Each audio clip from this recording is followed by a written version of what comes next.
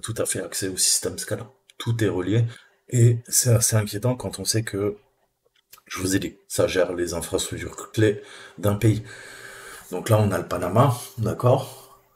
Euh, Et euh, on accède parfaitement, on géolocalise, il n'y a pas de problème, on a l'adresse IP, alors, le nom de domaine, la société, hein, et, et, voilà. Et puis après, vous savez que bah, ces deux ports, il y en a un qui est connecté, le 21, hein, donc on pourrait éventuellement chercher à se connecter en 21 ou se connecter via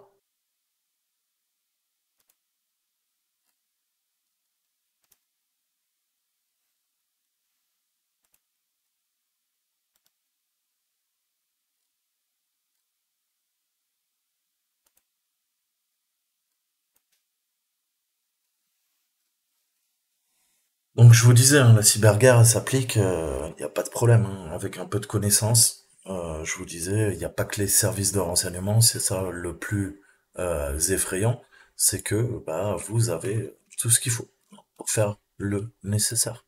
Qu'est-ce que je vais faire? Bah, J'ai besoin de mon Shodan préféré, de mes SCADA ICS, mes dark sheets, ok? Produit, vendeur, type, hein et là, on voit bah, sa station de traitement de l'eau, euh, hein, turbine, euh, switch, système SCADA, network gateway, power monitoring module. Hein. et après, bah, j'ai euh, tous mes Google Docs hein, pour faire une recherche directement sur Google. D'accord Et j'ai ma liste de mots de passe.